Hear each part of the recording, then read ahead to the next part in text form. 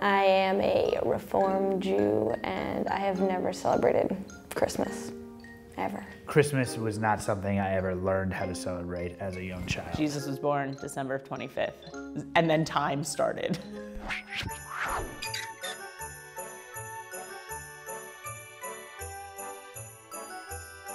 All the little kids in the family wake up really, really early. Everyone's wearing matching pajamas. All of the children, and these are adult children, line up in order of size, and then the parents watch as the children run down the stairs, and then everyone goes, Christmas! I mean, it's just kind of scary. Like, all of a sudden, there's all these, like, bells and chestnuts. There's just bells everywhere. And then they open all the presents. It's way too many presents. At some point during the year, you have to give your kid a $200 electronic.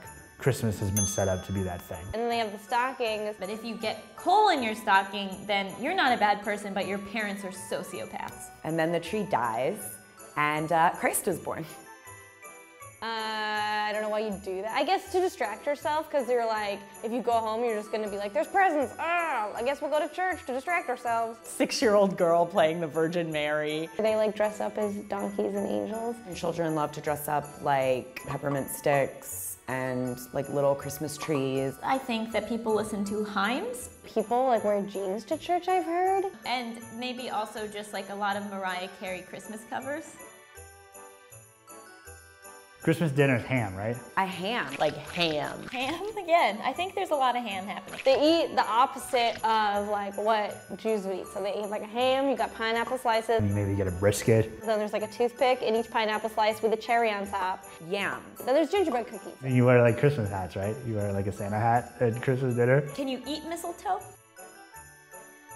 In a feat of acrobatics, a fat man with a beard and a giant like satchel of presents comes down a tiny little hole. Somehow, in the course of one night, delivers presents to the whole world. He doesn't come to my house.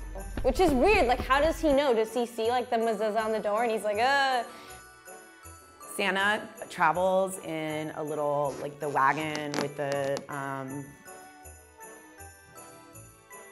Here are the seven reindeer Rudolph, on Jupiter, on Snowball, Neptune. They're, they're not they're not the Sailor Scouts. I don't know their names.